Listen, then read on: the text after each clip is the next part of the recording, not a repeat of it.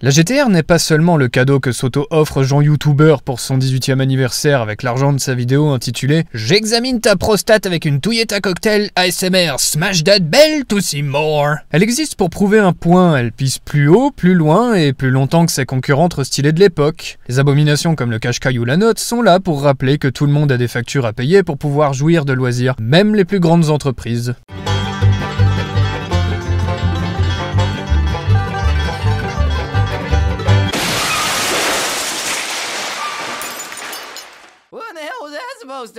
L'automobile est l'un des objets les plus significatifs de l'histoire de l'humanité, fascinant par sa complexité, son développement centralise de nombreux paramètres techniques et symboliques. De l'ingénierie à la sociologie, l'association de nombreux savoir-faire et innovations en font un moyen de transport convoité, agrémenté d'une image globale du comportement des homo sapiens dans leur habitat naturel. Eh bouge ta caisse, pétasse On va te faire enculer, le connard Nos conflits sculptent l'automobile pendant qu'elle forge nos paysages urbains, et si elle est en sursis sous sa forme actuelle pour les décennies à venir, au moins elle a le mérite de témoigner de notre évolution pour rassurer les éventuelles espèces extraterrestres surdouées qui échoueraient sur Terre pour une quelconque raison. À la fin des 60s, l'État japonais ne souhaite garder que les joueurs de première division pour plaire à l'international. Nissan, qui louche sur l'opportunité de développer son département sport tout en se démarquant, acquiert Prince, constructeur de voitures milieu de gamme engagées en compétition. Des deux entités naîtra la Skyline, une voiture 4 portes familiale vendue par millions sur 40 ans avant d'être le coupé sport haut de gamme bien connu de la majorité des bêta mâles de ce monde. Le culte de la GTR commence avec la C10 qui s'impose comme légende auprès du public et comme fantasme auprès des nouvelles générations d'ingénieurs de Nissan qui passeront les 30 prochaines années à essayer de se rapprocher du bon vieux temps, jonglant entre restrictions et chocs pétroliers. Absent pendant 30 ans, le sigle GTR revient sous la forme R32, un coupé sport haute performance s'imposant sur les circuits et ouvrant la voie à 13 années de folie culturelle, portée par les R33 et 34 aussi bien dans la réalité que derrière les écrans. Héritière spirituelle de la R32 tant dans les performances que dans les objectifs, comme piner la meilleure Porsche du moment sur son propre terrain pour un quart de son prix, la R35 règne à partir de 2007 en commençant par s'implanter là où aucune autre GTR n'est allée auparavant. Pays des gens frustrés par la règle des 25 ans. Elle adopte alors les volumes des Skyline de 11e génération, coupés orientés luxe, plus moderne et désirable aux yeux des Yankees que le style Akosuka conservateur. Droppant le nom de famille Skyline, la R35 devient un modèle à part entière, alliant le confort de ses cousins aux performances de ses ancêtres. En 10 ans, Nissan tombe plus rapidement en désuétude que Radiator Springs en 50 ans. Occuper les murs ne suffit plus et personne ne signe les concepts qui en sortent pour éviter d'endosser la responsabilité de flop éventuels. En 99, l'oracle Gon charge Shiro Nakamura de mener le projet salvateur que sera celui de la R35. Le programme visait à redonner la joie de vivre au personnel de Nissan à travers la résurrection d'un véhicule porte-drapeau, injecté d'une bonne grosse dose de culture japonaise assumée tout en renvoyant les technicos dans leur grotte pour foutre la paix aux créatifs pourrait argumenter des heures sur les pareidolis qu'il est possible d'interpréter en observant la R35. Force naturelle de la Terre, euh, athlète, lame de samouraï, emblème kabuki. Bon, euh, moi j'y vois une R34 botoxée avec de la cellulite qui se prend un sac plastique en pleine force pendant son footing. Mais pour résumer, la R35 doit se faire remarquer instantanément quitte à tomber dans l'excès. Car en 2007, l'économie est mais cela dit, pour le reste, c'est plutôt pas mal plus bien. Le paysage automobile est garni, c'est aussi simple de commander une Clio au comptoir qu'une R8, tout n'est d'options, de couleurs et de jantes alu payées à crédit par une populace surfant sur la déferlante prime à la casse. En 2007, le concept d'écologie n'est visible que sous forme de fond d'écran Windows Vista. Apple concrétise deux idées révolutionnaires en une, un nouveau concept de camping à couillon urbain pour jeunes lobotomisés souhaitant un iPhone comme faire valoir, récupéré 5 ans plus tard sur le bon coin par une préadolescente avide d'ascension social sur Instagram. Enfin pouvoir montrer mon cul à tout le monde. Et Facebook s'ouvre au public en lâchant le délire de l'adresse mail d'université obligatoire pour pouvoir s'inscrire. Bref, l'exclusivité disparaît peu à peu et les constructeurs doivent comprendre la nécessité absolue de plaire à la génération Slide to Unlock qui arrive peu à peu, celle qui explique le contrôle C, contrôle V à ses aînés, celle qui a appris à coder par plaisir, celle dont l'imprédictibilité du glissement de doigts sur verre est capable d'anéantir le support papier longuement établi. Nissan qui cherche à rajeunir son image par le biais de la compétition comprend l'intérêt de créer un véhicule de sport abordable. Clé en main, convenant aussi bien aux novices qu'aux pilotes expérimentés par tous les temps sur tous les terrains. Une GTR brute de fonderie nécessitant la lecture du manuel et 3 ans d'expérience avant d'être parfaitement maîtrisée n'a pas de sens en 2003. Les jeunes conducteurs millennials bercés au son des modems 56K qu'ils aient grandi avec la NES ou la PS2 n'ont ni la patience ni la concentration pour ça. La R35 doit donner la sensation d'offrir plus de responsabilité et de contrôle pour gagner la confiance de cette génération en quête perpétuelle de reconnaissance qui rejette l'autorité et la tradition. Système de navigation GPS, slot pour carte mémoire compacte avec 9 Go alloués sur disque dur pour enregistrer sa musique, et Bluetooth au débit 3 mégabits seconde car en 2009 on peut s'échanger des MP3 en 7 minutes téléchargés sur la moyeur et se passer du tribal Yenka en pensant que c'était White I've Done de Linkin Park. Le point clé étant la restitution du son façon home cinéma avec une panoplie d'appareils Bose.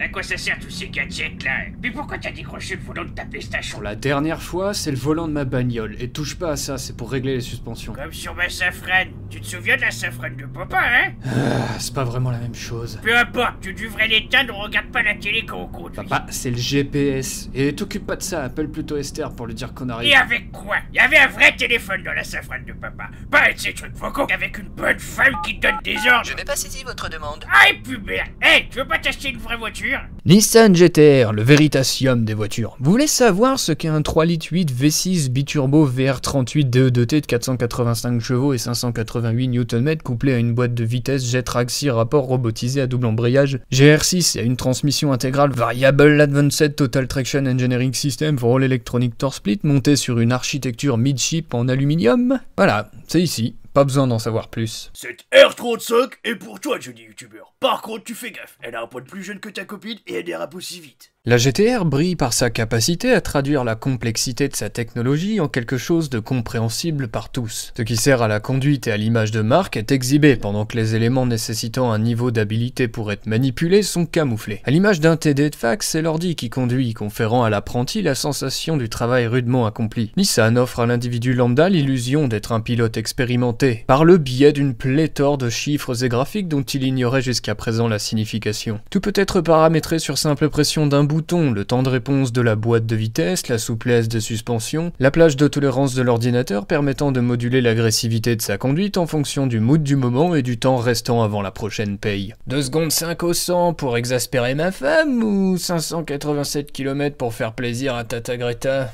Hmm. Même la maintenance générale de la voiture est pensée pour que le proprio n'ait à faire que les consommables, qu'elles soient neuves ou d'occasion. Et non, ce n'est pas cher, c'est juste proportionnel aux performances. Mais l'offre des pleins pouvoirs cache quelque chose. La GTR fait plus que commander, elle materne. Pour respecter les émissions de CO2 de l'époque, elle a été programmée pour rouler à bas régime le plus souvent possible. Elle passe donc systématiquement les rapports. C'est pour ça qu'un conducteur de GTR est encore plus bruyamment insupportable en ville qu'un ado en brel déchicané. Ça fait tout pour éviter d'être à 800 tours en 6 à 40 km/h, au risque d'être pris pour un conducteur de Qashqai de 485 chevaux.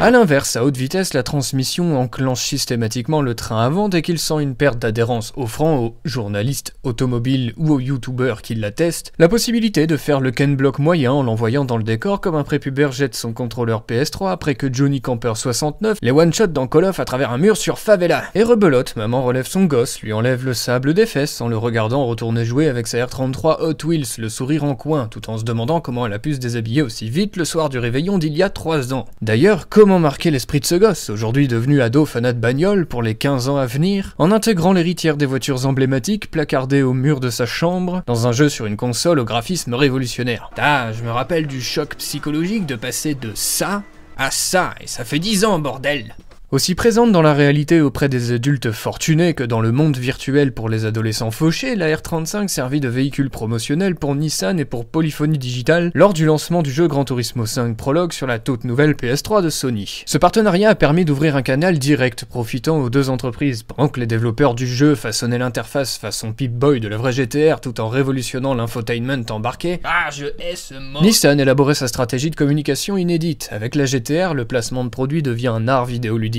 alors, certes, ça a toujours été la base de jeux de simulation. Aurait-il été crédible d'aller répandre la démocratie au Briatistan au volant d'un Warthog avec les armes de Team Fortress dans Arma 3 Désormais, la voiture n'est pas seulement visible depuis le canapé, elle est pilotable, une vraie expérience sensorielle encore inconnue de la saga Gran Turismo qui se contentait d'une vue capot. Puis, faut dire que jusque-là, la section Nissan ressemblait plus à un musée commémoratif virtuel qu'à une réelle expérience immersive. L'ado peut entrer dans la voiture de ses rêves et la piloter chez lui sur vrai circuit. Grâce à GT5, Nissan donne le biberon, étend son empire en semant dans l'esprit de toute une nouvelle génération de passionnés les marques d'une nouvelle norme. Mais le culte japonais du maître et de l'apprenti ne s'arrête pas là. La GT Academy, dont la GTR en était l'égérie, était un programme créé en 2008 visant à mettre les joueurs en compétition à travers des championnats in-game régulièrement mis à jour, suivant de près les meilleurs des meilleurs. Il y a même eu une tentative ratée d'en faire une mini-série sur YouTube. Les gagnants du jeu étaient ensuite sélectionnés pour concourir au niveau professionnel et peut-être démarrer une carrière dans la compétition automobile. Et comme ça suffisait pas, la GTR a elle eu aussi le droit au génie d'une alliance de marketeurs en formation tortue. Pour le l'ouvrier dédié au montage et à la pose des moteurs, ce n'est pas un ouvrier, non, c'est un Takumi. D'ailleurs, il n'assemble pas à la chaîne un moteur dans une usine, non. Il met à profit 100 ans d'expérience combinée avec des collaborateurs pour réaliser et signer une œuvre dans son laboratoire. AMG est l'un des premiers à l'avoir fait parce que prestige. Enfin, signer un moteur d'une plaquette avec son nom sert les mêmes intérêts que les enquêtes de satisfaction client, c'est-à-dire contrôler le volume de production en remplaçant le mec qui a commis la bourde par le premier d'une longue file d'attente. Les GTR sont testés sur circuit avant d'être exportés. Je suis contraint 8 heures par jour depuis 9 ans à faire des tours sur ce circuit. C'est insupportable. Je veux changer de voiture. Donnez-moi n'importe quoi. De la F1 à l'Insight, je, je prends tout. Coupler cette authenticité avec une publicité cherchant à susciter chez le spectateur la nostalgie d'une expérience qu'il n'a jamais réellement vécue, et vous obtenez la plus ciblée des campagnes de communication. La GTR est présentée de deux manières, soit comme une sorte d'objet transitionnel en faisant appel aux souvenirs des mioches qui, voyant leur première GTR dans la rue, placent la R35 comme idéal à atteindre, soit comme une sorte de symbole fédérateur des opprimés de la vie cherchant désespérément un moyen de se venger de la société dans une quête acharnée de reconnaissance sociale. Le message est clair, tout ce qui gravite autour de la GTR est sujet à compétition, et si le proprio n'est pas dévoué à soutenir son héritage, c'est qu'il n'est pas digne d'en posséder une. GTR R35, le Jason Statham des voitures. Elle joue le même rôle depuis 10 ans, mais les gens sont toujours excités quand ils la voient. Pour que la lignée GTR perdure, chaque génération doit transcender sa propre nature. C'est une marque qui n'a pas le droit à l'erreur aussi bien à l'intérieur des bureaux de conception qu'une fois dans la rue. Elle n'est pas parfaite pour son temps au Nürburgring, mais elle l'est car jamais un constructeur n'a aussi bien ciblé son public. C'est gagnant-gagnant, Nissan a mis en place une communication qui tire vers une forme de propagande positive passive, où les jeunes générations sont mises en avant et où les plus nerds des adolescents trouvent leur place en ce monde, tout en créant un véhicule porte-drapeau utile à sa propre survie et au développement des supercars du futur. La GTR est le point de ralliement des bêta mâles de génération Y assoiffés de reconnaissance. Ceux du milieu ne gagnent jamais, ceux que l'on choisit en dernier, ceux qui ne désirent qu'une chose depuis qu'ils sont en âge d'être indépendants, montrer aux autres qu'ils ont leur place en ce monde et que eux aussi peuvent sortir victorieux d'une conversation à l'extérieur d'un bar avec six pintes dans le sang. Enfin, elle contente tout le monde en permettant aussi bien à Johnny69 de pondre une vidéo intitulée Watch My 19-year-old girlfriend reaction qu'à la chaîne Boomer Trash Mécanique de décrocher des sponsors avec son nouveau projet GTR Liberty Walk de 950 chevaux.